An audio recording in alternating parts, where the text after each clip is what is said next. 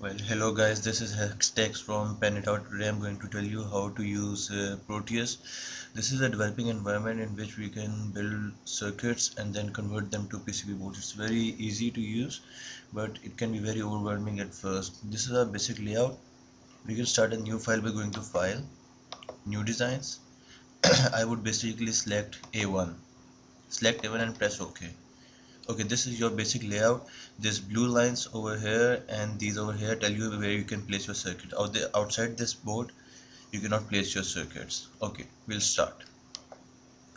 Right click on your mouse and you're gonna go to place. And then you can place components junction dots text scripts bus circuit sub circuits terminal device pin graphs. There are a lot of things. Okay first what I'm gonna do is I'm gonna show you how to put a component in your design. Go to this P over here. It'll open your library. I'll start with the resistor you can type over here this area over here. Go over there and type resistor RE okay now we get this is the basic uh, resistor model. We have no PCB preview no PCB package. Okay this is very important because it's related to our PCB design mode. And this is the basic resistor okay there are different things in Proteus. Like if I go to analog ICs it will show us a PCB preview package and then this spice model over here shows us that this can be used in a simulation model. Okay I'm gonna go to resistors. Okay looks like I don't have a resistor. Okay here they are. Mm, how about this one? Okay I'm gonna put this resistor on my board. And I'm gonna click on my resistor and then click on my board. I'm gonna zoom in with scrolling from my mouse and this is my basic resistor. Okay well congratulations guys. We have just placed a resistor on our circuit diagram. Okay double click on the resistor and this dialog will open. Here you can specify the resistance I'll say this is 10k press ok now what we're gonna do is we're gonna make a circuit out of this resistor. I'm uh, choosing to use just a resistor because it's very basic and very easy to use. I'm gonna go to terminal and then I'm gonna put a ground. Let's put our ground over here and put it connected with this. Just connect one part of the resistor and extend it and you'll get a wire. If you want to make a custom wire diagram then you're gonna click to the points where you want your wire to bend like I'm doing right now. And if you want your wire to end just go to that point and click it two times. Okay here's our wire. Now I'm gonna give it a power source. Again I'm gonna place go to place right click go to place.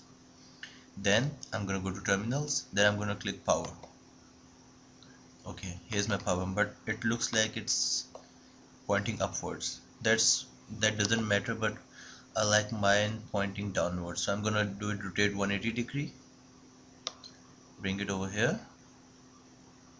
And then connect it with my power. Okay to simulate this circuit I'm gonna go over here this panel over here and I'm gonna click play. Okay now here it is simulating my circuit. These are my messages. Like it told me that it has loaded the spice SDN this SDN is my, DSN is my this circuit okay I'm going to close it and then I'm going to stop. Now what I'm going to do is I'm going to check the measure the voltage around this resistor. I'm going to go to place. I'm going to go to virtual instruments. Then I'm going to go to DC voltmeter. Here's my voltmeter. I'm going to put it over here. Okay I'm going to put it over here.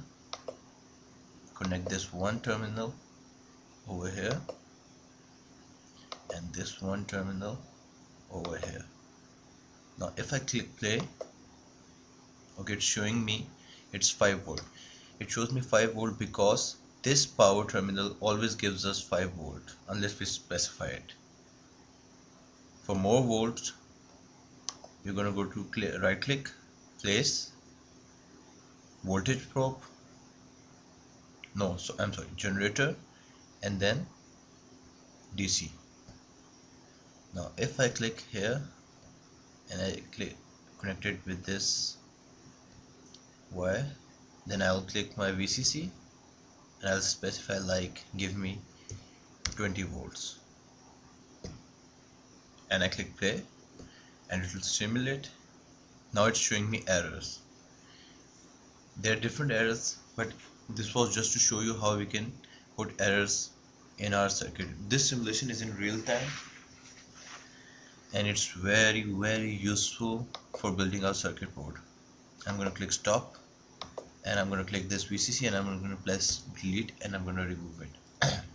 So guys this was our basic circuit. Next time I'm going to show you how to make more complex circuits